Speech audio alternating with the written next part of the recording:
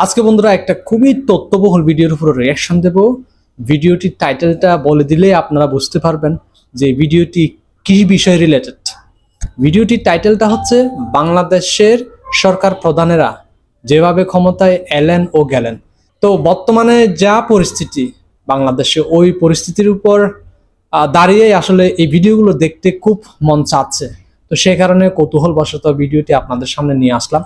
বাংলাদেশের শুরু থেকে এখন পর্যন্ত যারা যারা সরকার প্রধান ছিলেন ওনাদের হিস্টোরি ওনাদের কর্মকাণ্ড সম্পর্কে ভালো একটা আইডিয়া পাবো। তো চলুন এই ভিডিওটি দেখে আসি বাংলাদেশের পলিটিক্স সম্পর্কে একটু আইডিয়া নিই চলুন শুরু করি। লেটস গো বাংলাদেশের ক্ষমতার যে পালা বদল আজকের ভিডিওটি তাই দেখব। বাংলাদেশের স্বাধীনতার পর থেকে যারা সরকার প্রধান হিসেবে ছিলেন, তাদের মধ্যে কেউ রাষ্ট্রপতি, কেউ প্রধানমন্ত্রী, কেউ প্রধান উপদেষ্টা, আবার কেউ সামরিক শাসন জারি করে প্রধান সামরিক আইন প্রশাসক হিসেবে দেশ শাসন করেছেন। বাংলাদেশের প্রতিষ্ঠাতা রাষ্ট্রপতি শেখ মুজিবুর রহমান প্রথমে সংসদীয় পদ্ধতির সরকার করে রাষ্ট্রপতি থেকে প্রধানমন্ত্রী হয়েছিলেন। আবার উনিশশো পঁচাত্তর সালে রাষ্ট্রপতি শাসিত সরকার পুনঃপ্রবর্তন করে রাষ্ট্রপতি হয়েছিলেন।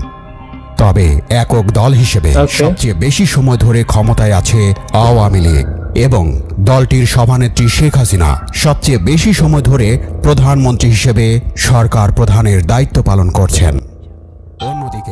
আওয়ামী লীগের প্রধান রাজনৈতিক প্রতিপক্ষ বিএনপি ক্ষমতায় ছিল প্রায় ১৩ বছর আর প্রয়াত হুসেন মোহাম্মদ এরশাদ প্রথমে সামরিক আইন প্রশাসক ও পরে রাষ্ট্রপতি হিসেবে প্রায় নয় বছর দেশ শাসন করেছেন।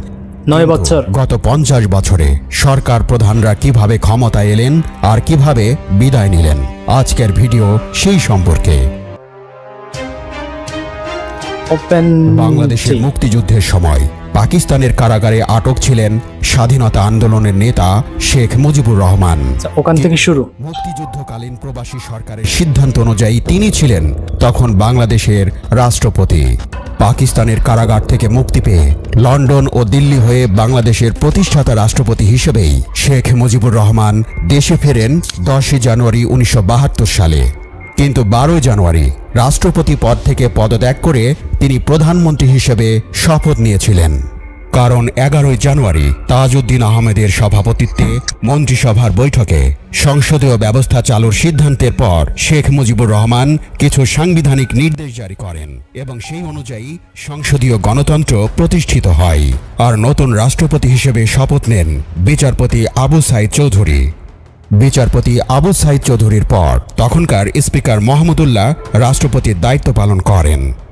পরে উনিশশো পঁচাত্তর সালের জানুয়ারিতে বাকশাল গঠনের পর আবারও রাষ্ট্রপতি হিসেবে শপথ নেন বাকশাল বিষয়টা আমার কাছে এখনও অজানা। আসলে আপনারা যদি জেনে 1975 থাকেন প্লিজ সংক্ষেপে একটু কমেন্ট সেকশনে উল্লেখ করবেন। কর্মকর্তার হাতে শেখ মুজিবুর রহমান সপরিবারে নিহত হন। হুম। বাংলাদেশের প্রতিষ্ঠাতা রাষ্ট্রপতি শেখ মুজিবুর রহমানকে পনেরোই আগস্টের ভোরে সপরিবারে হত্যার পর ওই দিনই রাষ্ট্রপতি হিসেবে দায়িত্ব নেন খন্দকার মোশতাক আহমেদ। রাষ্ট্রপতি হিসেবে তিনি ক্ষমতায় ছিলেন মাত্র তিরাশি দিন। মানে তিন মাসও ক্ষমতায় থাকতে পারেন না খন্দকার মোশতাক 83 জারি দিন। করলেন এবং নিজেই প্রধান সামরিক আইন প্রশাসকের দায়িত্ব নিলেন। ক্ষমতায় এসেই এই সরকার তাড়াহুড়ো করে সামরিক বাহিনীতে পরিবর্তন আনে। জেনারেল ওসমানীকে একজন ক্যাবিনেট মন্ত্রীর পদমর্যাদায় রাষ্ট্রপতির সামরিক উপদেষ্টা করা হয়। উপসেনা প্রধান মেজর জেনারেল জিয়াউর রহমান। সেনা প্রধান করা হলো। আর পূর্বতন সেনা প্রধান ক্ষমতা গ্রহণের সময় প্রধানমন্ত্রীর পদ বিলুপ্ত করেন খন্দকার মোশতাক আহমেদ। ফলে তার সেই সরকারে বারো জন মন্ত্রী এবং এগারো জন প্রতিমন্ত্রী থাকলেও কোনো প্রধানমন্ত্রী মানে একটা সময় রাষ্ট্রপতি শাসিত সরকারের করেই উপরাষ্ট্রপতি ট্রান্সফার হয়েছিল বাংলাদেশের শাসন সরকারের ব্যবস্থা। ভূমিমন্ত্রী মোহাম্মদুল্লাহকে। তেসরা নভেম্বর ঢাকার কেন্দ্রীয় কারাগারে বন্দী অবস্থায় জাতীয় চার নেতাকে হত্যা করে একদল সেনা সদস্য। সেই হত্যাকাণ্ড ঘটেছিল তৎকালীন রাষ্ট্রপতি খন্দকার মোশতাক আহমেদের নির্দেশে। ক্ষমতা গ্রহণের মাত্র তিরাশি দিনের মাথায় secret কিছু বিষয় এখানে আলোচনা করছে। খালেদ মোশাররফের নেতৃত্বে অভ্যুত্থানে খন্দকার মোশতাককে পাঁচ নভেম্বর ক্ষমতাচ্যুত করা হয় উনিশশো তো বেশি দিন ক্ষমতায় থাকতে পারেন নাই। তাকে বন্দী করা হয় উল্টা আরও বন্দি করা হয়েছিল আবু হাসনাত তেসরা নভেম্বরের অভ্যুত্থানে সেনাপ্রধান জেনারেল জিয়াউর রহমান পদচ্যুত হন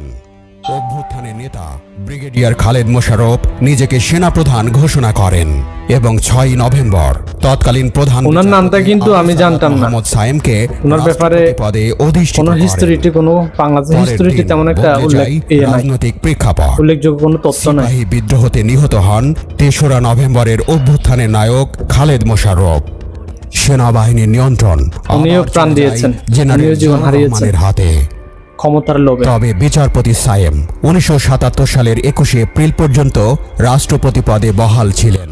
যদিও ক্ষমতার চাবিকাঠি ছিল জেনারেল জিয়াউর রহমানের হাতে। জিয়াউর রহমান। সামরিক অভ্যুত্থান ও পাল্টা অভ্যুত্থানের জের ধরে উনিশশো পঁচাত্তর সালের সাতই নভেম্বর রাজনীতির কেন্দ্রে চলে আসেন জিয়াউর রহমান। তাকে চিফ অফ আর্মি স্টাফ এবং উপপ্রধান সামরিক আইন প্রশাসক হিসেবে নিযুক্ত করেন আস্তে আস্তে ওনার। মোহাম্মদ সায়েম।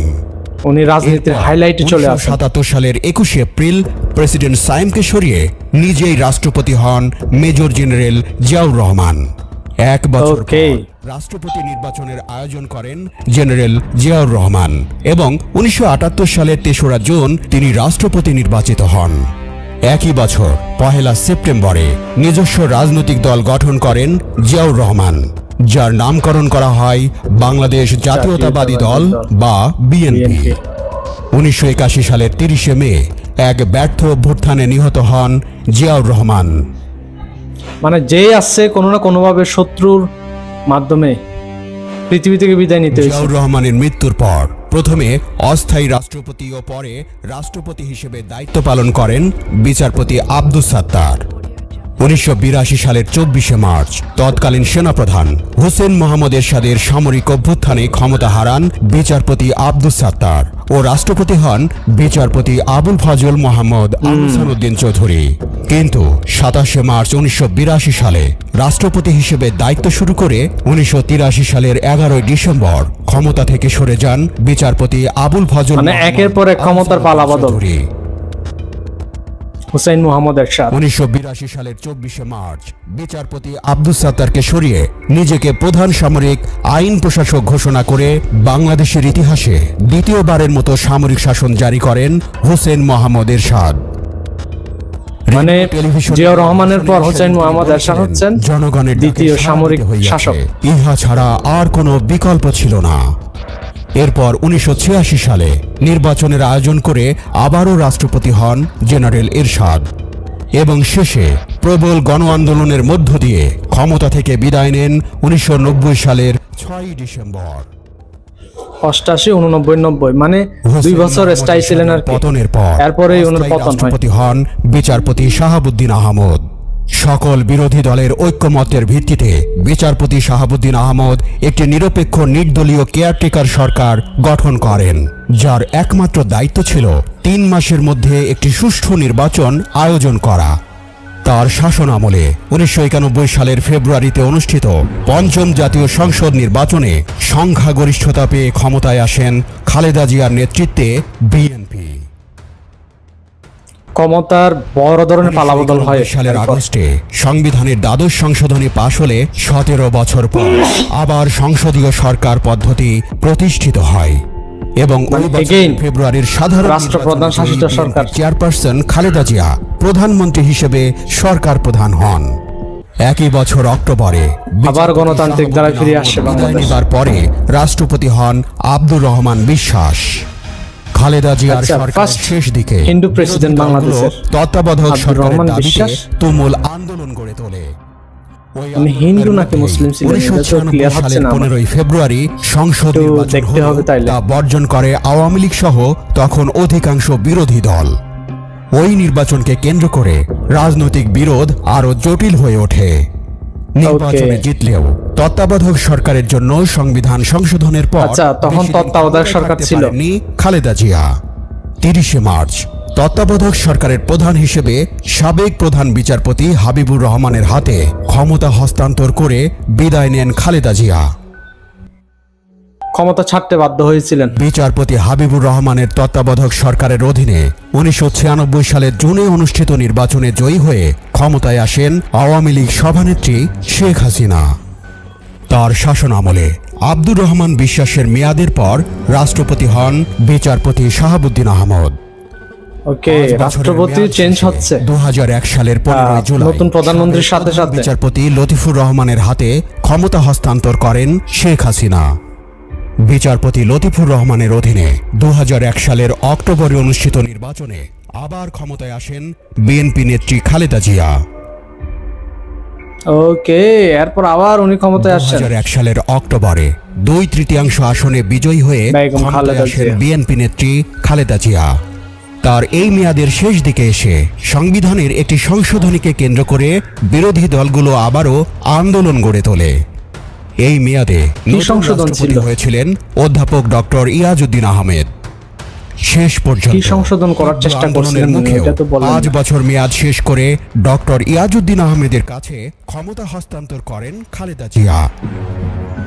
এরপরে পাঁচ বছর মেয়াদ উনি শেষ করতে ইয়াজউদ্দিন নিজেই তত্ত্বাবধায়ক সরকারের প্রধান উপদেষ্টার পদে বসে সমালোচনার পাত্র বনে যান। নির্দলীয় তত্ত্বাবধায়ক সরকারের প্রধান উপদেষ্টা পদের কর্তব্য বিশ্বস্ততার সহিত পালন করিব বিশ্বস্ততার সহিত পালন করি জাতীয় নির্বাচনকে ঘিরে রাজনৈতিক দলগুলোর মধ্যে বিশৃঙ্খলার পরিপ্রেক্ষিতে দুহাজার সাত সালের বারোই জানুয়ারি তৎকালীন রাষ্ট্রপতি ইয়াজউদ্দিন আহমেদ দেশে জরুরি অবস্থা ঘোষণা করেন।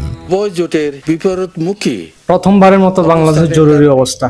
তারা স্ব কর্মসূচি নিয়ে এগিয়ে যেতে থাকলে প্রথমবারের মতো একদম সম্ভাব্য জরুরি অবস্থা জারি করা হয়েছিল। পতিত হবে। বর্তমান মানে অনেক উত্থান পতন হচ্ছে তখন। অবস্থা ঘোষণা অত্যাবশ্যক হয়ে পড়েছে। একই সাথে সেনা সমর্থিত একটি তত্ত্বাবধায়ক সরকার গঠিত হয় যার প্রধান উপদেষ্টা হিসেবে ফখরুদ্দিন আহমেদকে নিয়োগ করা হয়। ওকে সশ্রদ্ধ পাইছিলাম। শপথ করি ওনাকে ওনার শপথ করিতেছি সময়টা পাইছিলাম যতটুকু মনে পড়ে। তত্ত্বাবধায়ক সরকারের প্রধান উপদেষ্টা পদের কর্তব্য বিশ্বস্ততার সহিত পালন করিব। বিশ্বস্ততার সহিত পালন করিব। ফখরুদ্দিন আহমেদ ক্ষমতা গ্রহণের মধ্য দিয়ে ইতোপূর্বেই রাষ্ট্রপতিকে প্রধান উপদেষ্টা করে গঠিত তত্ত্বাবধায়ক সরকার বিলুপ্ত হয়। তিনি দুই বছর কেয়ারটেকার ছিলেন। কথা ছিল ফখরুদ্দিন আহমেদের নেতৃত্বাধীন তত্ত্বাবধায়ক সরকার। দ্রুততম সময়ে দেশবাসীকে একটি গ্রহণযোগ্য জাতীয় নির্বাচন উপহার দেবে। কিন্তু তারা উল্টো তাদের বিরুদ্ধে মাইনাস টু ফর্মুলা বাস্তবায়ন করে শেখ হাসিনা ও খালেদা জিয়াকে দেশের রাজনীতি থেকে বিদায়ের চেষ্টা শুরুর অভিযোগ ওঠে সেনা সমর্থিত দায়িত্ব গ্রহণ ও একবার গেলে জারির ছয় মাসের মধ্যে করে না। 2007 সালের ষোলো জুলাই এইটাই তার প্রমাণ। শেখ হাসিনাকে গ্রেপ্তার করা হয় খালেদা জিয়াকে গ্রেপ্তার করা হয় তেসরা সেপ্টেম্বর আন্দোলন সংগ্রামের মাধ্যমে মুক্ত হন শেখ হাসিনা ও বেগম খালেদা জিয়া একটি সাধারণ নির্বাচনের বিষয়ে সেনা সমর্থিত সরকারের ওপর চাপও বাড়ছিল। আগামী বারোই সেপ্টেম্বর থেকে রাজনৈতিক দলগুলোর সাথে আলোচনা শুরু হবে সেই কবে ওনাকে দেখছিলাম আজ আবার দেখতেছি। এই প্রেক্ষাপটে ফখরুদ্দিন আহমেদ। আলোচনার সুষ্ঠু পরিবেশ সৃষ্টির জন্য আমার এখনও মনে আছে যে বিটিভি দেবে প্রত্যেকদিন ওনার চেহারা দেখতে পেতাম। অর্থাৎ দু সালের ডিসেম্বরের মধ্যে নির্বাচন অনুষ্ঠান পর্যন্ত আমাদের উপর অর্পিত দায়িত্ব সুষ্ঠুভাবে পালনে আমরা বদ্ধপরিকর। অবশেষে দু সালের উনত্রিশ ডিসেম্বর সব দলের অংশগ্রহণে সাধারণ নির্বাচন ও সব একসাথে বসছে আলোচনা। আওয়ামী লীগ দুই তৃতীয়াংশ আসনে জয়ী হয়ে সরকার গঠন করলে গঠিত বড় দলগুলো সরকার একসাথে মুখোমুখি হয়েছিল। আমরা যদি একটু করতাম, তাহলে উনিও। নেতা হতে পারতেন না। ওখানে হয়তো এরশাদ সাহেব বসতেন। সেটা করা খুব কঠিন ব্যাপার ছিল না আমরা ইচ্ছে করে তা করে দিতে পারতাম। আমি সত্যি বলি এটা পারতাম আমরা। আবারও শেখ হাসিনা। শেখ হাসিনাই এখন পর্যন্ত বাংলাদেশের দীর্ঘতম সময়ের সরকার প্রধান। দু সালের ছয় জানুয়ারি দ্বিতীয়বারের মতো দু হাজার চোদ্দ সালের পাঁচই জানুয়ারি তৃতীয়বার এবং দু সালের তিরিশে ডিসেম্বরের নির্বাচনে বিজয়ী হয়ে চতুর্থবারের মতো প্রধানমন্ত্রী হিসেবে শপথ নিয়ে এখনও সরকার প্রধান হিসেবে সালে যে নির্বাচনটা শাসন গেছে করছেন শেখ ওইটা হাসিনা। উনি উল্লেখ করেন তবে যেহেতু আগের ভিডিও, এই জন্য নির্বাচন তত্ত্বাবধায়ক সরকারের অধীনে হলেও এর পরের নির্বাচনগুলো শেখ হাসিনা সরকারের অধীনেই হয়েছে। এ নিয়ে বিরোধের জের ধরে দু হাজার চোদ্দ সালের নির্বাচন বর্জন করেছিল বিএনপি ও সমমনা দলগুলো। তবে দু হাজার আঠারো সালের নির্বাচনে তারা অংশ নিলেও ব্যাপক কারচুপির অভিযোগ ওঠে। দু হাজার নয় সালে আওয়ামী লীগ ক্ষমতায় আসার পর রাষ্ট্রপতি ইয়াজউদ্দিন আহমেদের মেয়াদ শেষে ওই বছর রাষ্ট্রপতি নির্বাচিত হন মোহাম্মদ জিল্লুর রহমান। দু হাজার তেরো সালের বিশে মার্চ জিল্লুর রহমান সাহেব। রাষ্ট্রপতি নির্বাচিত হন বর্তমান প্রেসিডেন্ট আব্দুল হামিদ। বাংলাদেশে যে একটা সময় জরুরি অবস্থা জারি ছিল। হ্যাঁ এই এই এই বিষয়টা আমি এই ভিডিও থেকে প্রথমবারের মতো জানলাম। বিভিন্ন সময়ে বাংলাদেশের পরিস্থিতি খুব উত্থান পতনের মধ্য দিয়ে গেছে, সেই শুরু থেকে এখন পর্যন্ত। অনেকে গণতন্ত্র থেকে একনায়কতন্ত্র বানাইতে চাইছিলেন, কিন্তু পারেন নাই। আবার অনেকে আবার একনায়কতন্ত্র থেকে গণতন্ত্রে পরিণত করেছেন, দেশের শাসন ব্যবস্থা। মানে উত্থান পতনের মধ্য দিয়ে গেছে। একবার ক্ষমতায় গেলে ক্ষমতা ছাড়তে ইচ্ছে করে না। এরকমও উদাহরণ এখানে দেখতে পেয়েছি এই ভিডিওতে। তো শেষ পর্যন্ত আসলে ক্ষমতা হস্তান্তর করতে হয়েছিল। তো বন্ধুরা, এই ভিডিওটি দেখার মেন কারণটা হচ্ছে চারপাশের পরিস্থিতি। এই পরিস্থিতি তাই আজকের এই ভিডিওটি দেখার জন্য বাধ্য করেছে আমাকে। অনেকে ক্ষমতার পিরিয়ড সম্পূর্ণভাবে শেষ করে পরের সরকারকে ক্ষমতা দিয়ে গেছেন। আবার অনেকে ক্ষমতার পিরিয়ড শেষ হওয়ার আগে ক্ষমতা ছাড়তে হয়েছিল। মানে আপস অ্যান্ড ডাউন এভাবেই এতদূর পর্যন্ত চলে আসছে বাংলাদেশ। তো বন্ধুরা, ভিডিওটি কেমন লেগেছে অবশ্যই কমেন্ট সেকশনে জানাবেন। আর যে বিষয়গুলো হাইট রয়ে গেছে বা সিক্রেট রয়ে গেছে, সে বিষয়গুলো আপনারা কমেন্ট সেকশনে উল্লেখ করতে পারেন। তো ভিডিওটি কেমন লেগেছে, যদি ভালো লেগে থাকে একটা লাইক করবেন চ্যানেলটি সাবস্ক্রাইব করে পাশে থাকবেন। সবাইকে অসংখ্য ধন্যবাদ। C you